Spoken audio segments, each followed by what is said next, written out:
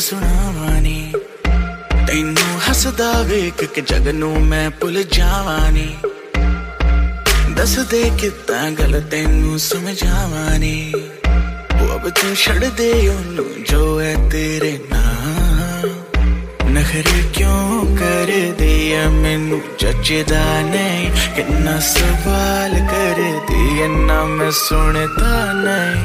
ਹੋਰ ਦੱਸ ਕਿੰਨੀ ਤਾਰੀਫਾਂ ਚਾਹੀਦੀਆਂ ਤੈਨੂੰ।